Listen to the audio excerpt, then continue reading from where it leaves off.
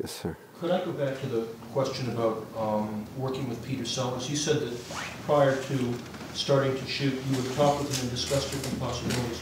Could you give some examples of what kinds of possibilities you have? Well, yeah, they're very, they're, most of those kind of things, are, you, you, we, as I said, we talked a lot about the voice thing.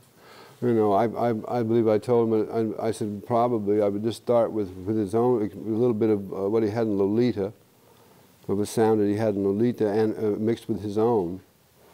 Uh, because his own sound is, uh, to, our, to the American ear, is culture even though it isn't even, it's an English sound. You know what I'm saying? It doesn't necessarily mean, but it's, it's almost like it means something uh, to our ear, you know, that kind of thing, and, and just a touch of that. So, uh, you know, we talked about that. We talked about what that level of that child's age was and so forth, and uh, you know, just different possibilities.